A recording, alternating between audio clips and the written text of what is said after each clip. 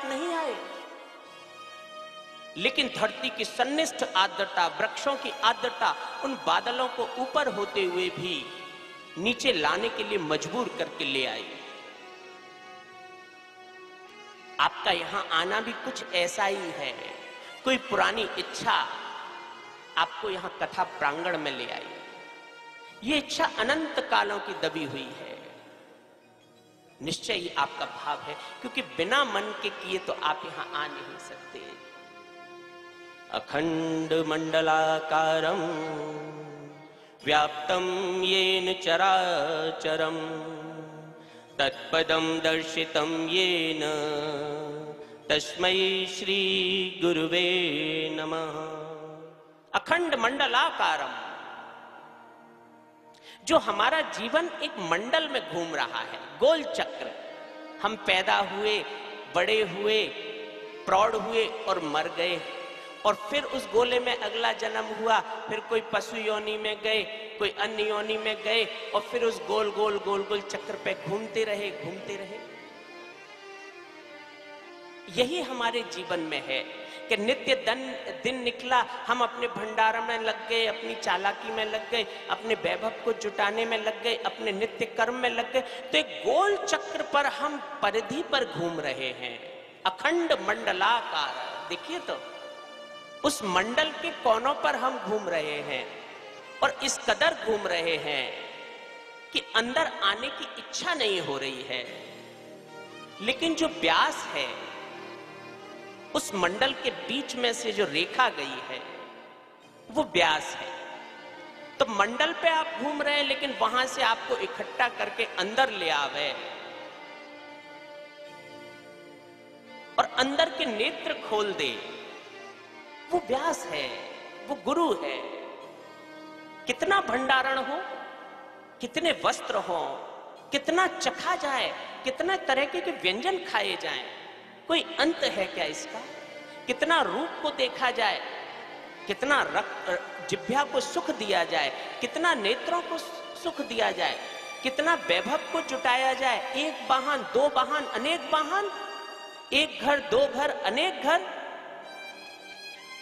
और एक संगनी, दो संगनी, अनेक संगनियों की इच्छा, एक मित्र, दो मित्र, अनेक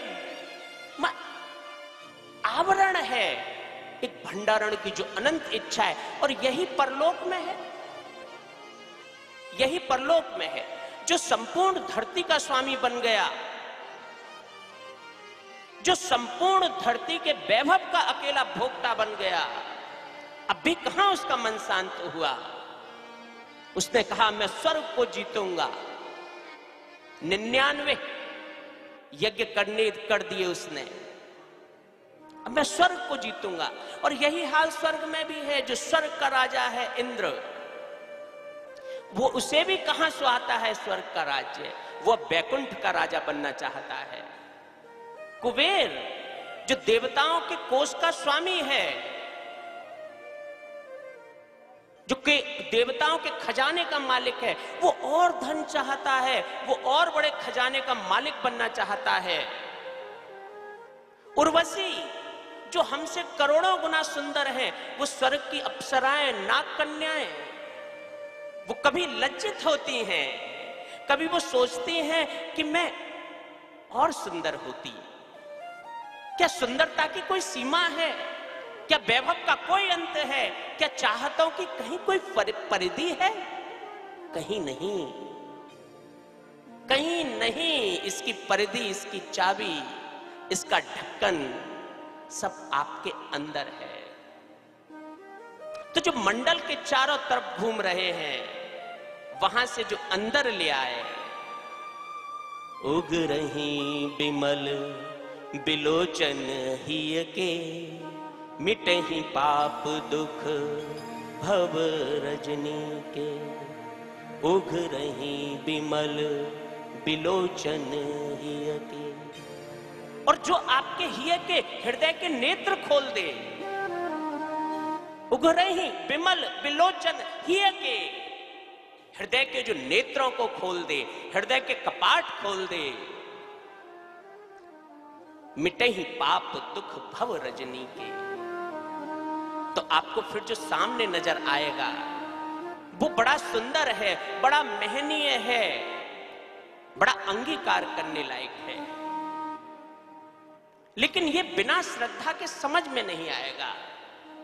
हाँ, ये सच है कि ईश्वर किसी मंदिर में रहता है, कहीं तीर्थों में रहता है, गंगा जी में रहता है, हम सब में रहता है, वैकुंठ में रहता होगा, देव प्रतिमा में रहता होगा। पर सच बात यह वो वहाँ नहीं है। ईश्वर सिर्फ़ आपके श्रद्धा और विश्वास में आपके मानने से वो ईश्वर आपके अंदर है।